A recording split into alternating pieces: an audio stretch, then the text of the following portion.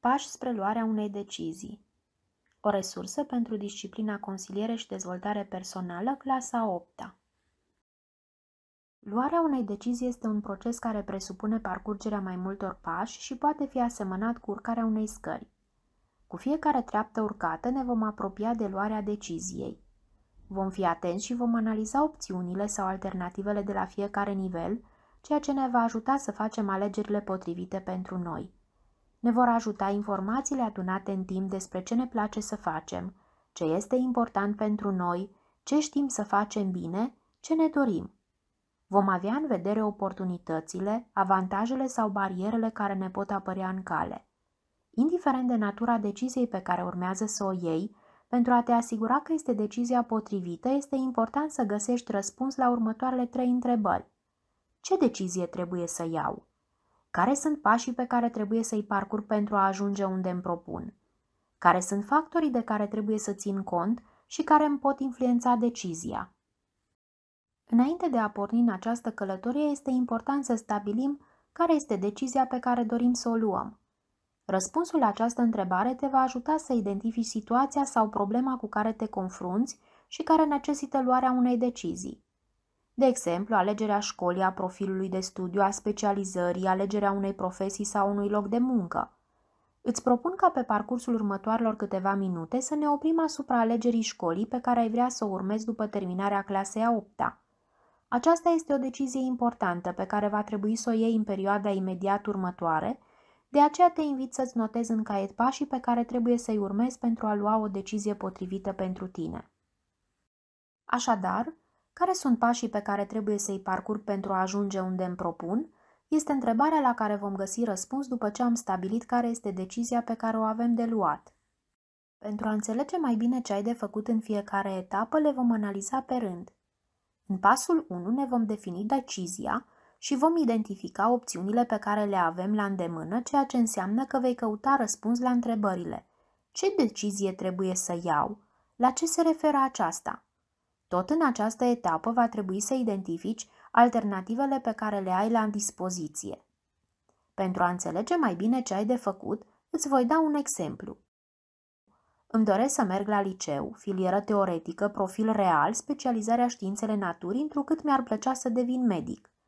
Sau îmi doresc să merg spre învățământ profesional, domeniul de bază turism și alimentație, calificarea cofetar patiser sau bucătar.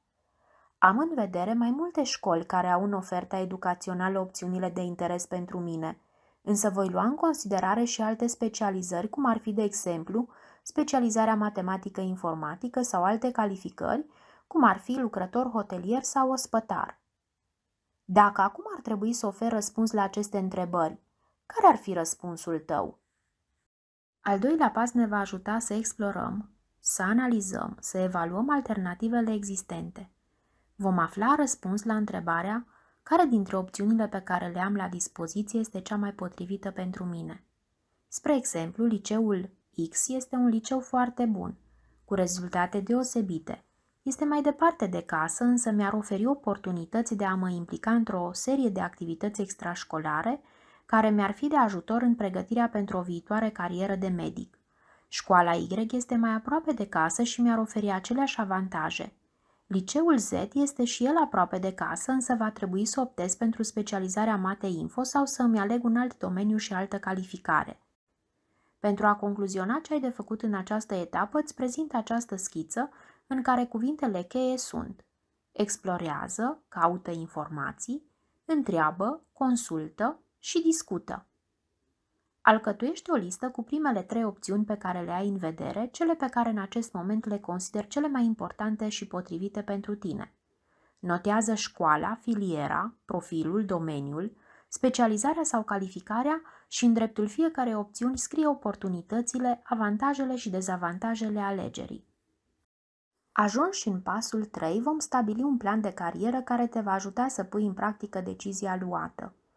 Planul de carieră se realizează pornind de la resursele personale și cuprinde etapele pe care trebuie să le parcurgi pentru a ajunge să-ți atingi un scop educațional, de exemplu să intru la liceul X, sau un scop profesional, cum ar fi, spre exemplu, să fiu profesor, medic, inginer, mecanic, obiectivele legate de scopul stabilit și intervalul de timp pe care îl aloci fiecare etape. Cum pun în practică decizia ce trebuie să fac efectiv? Care sunt pașii pe care trebuie să-i parcurg?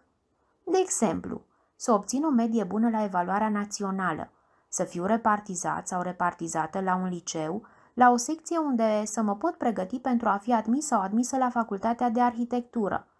În pasul 4 luăm decizia și o implementăm. Trebuie să aplic planul stabilit mai devreme. De exemplu, completez formularul de înscriere la evaluarea națională cu atenție, având grijă la corectitudinea codurilor corespunzătoare opțiunilor tale în ordinea pe care ți-o dorești. Această etapă necesită timp suficient pentru a pune în practică aspectele stabilite în planul de carieră. Este foarte important ca pe parcursul acestei etape să găsești soluții pentru eventualele situații neprevăzute sau dificultăți, astfel încât să poți revizui planul conform noilor date ale problemei.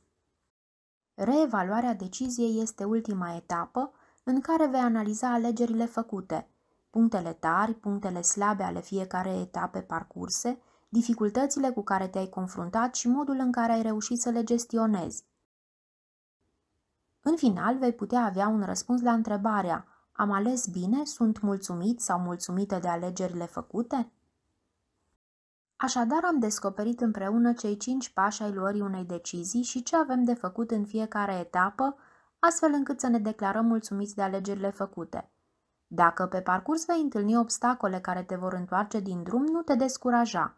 Rea procesul din pasul la care te-ai întors și analizează cu și mai mare atenție fiecare detaliu care te-ar putea ajuta să reușești.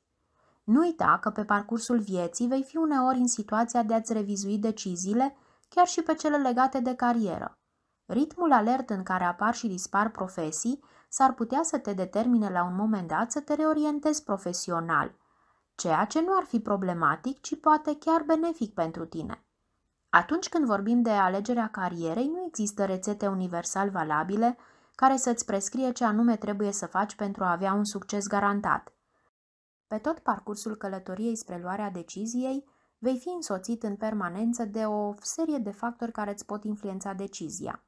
Câteva exemple de astfel de factori sunt familia, școala, prietenii, performanțele școlare, trăsăturile de personalitate, sistemul personal de valori, perspectiva financiară sau câștigul în bani. Enumără în ordinea importanței pentru tine factorii care te influențează în luarea deciziei referitoare la ce vei face după terminarea clasei a 8 -a.